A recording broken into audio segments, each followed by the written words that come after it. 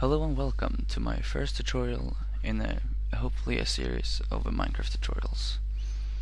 I'm going to show you how to make a multiplayer survival server um, which you can play with your friends on. And uh, first of all we're going to minecraft.net and download the Minecraft server exe uh, file. You want to save it and you don't want to open it, you want to show it in its, in its folder and you're going to create a new folder called Minecraft server or whatever and then you're going to drag the Minecraft server exe to the Minecraft server. Now you're going to open it. Just ignore that, that was my computer. And now you will see a bunch of files popping up because they are created by the program.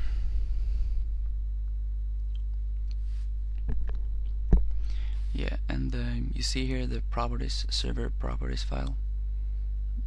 That one, yeah, that that one is the one we're interested in. And here you can change a bunch of stuff on the server, like the name of the server. You can just name it to whatever.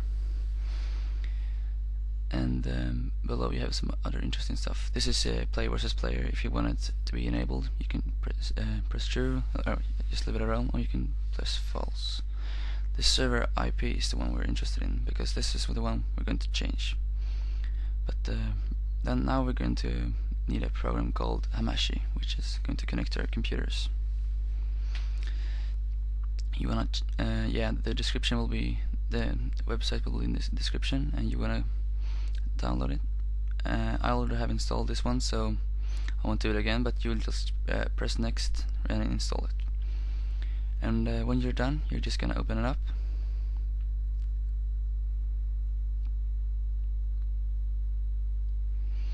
You uh, probably will have a little um, uh, a button that says you need to power it on and then it will generate a new IP for your computer. Uh, and then you will just um, press um, the little network symbol and then you will create a new network. Uh, but before we're going to do that we're going to write in the server IP the one is being shown there yours will be different from mine so you don't, don't write mine.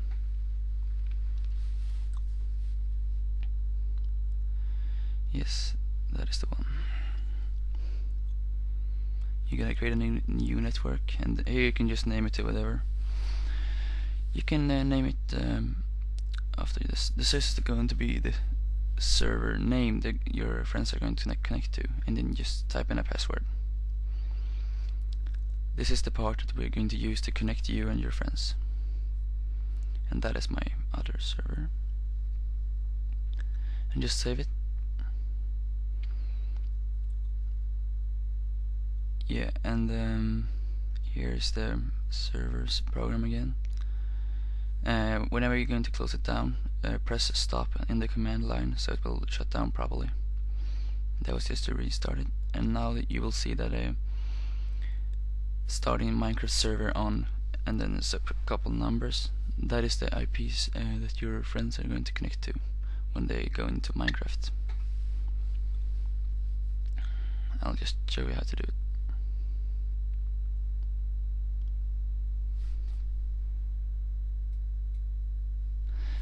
And the numbers you see there was when I connected before. So you're just going to copy the numbers. You can actually you can't actually copy them, but you're gonna write them write them.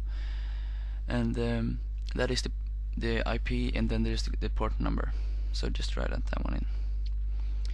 And then when your friends are going to connect, they will just have to first uh, join your Hamachi network, and then uh, type in this this number, which uh, your numbers, of course, and then press connect when the server is up.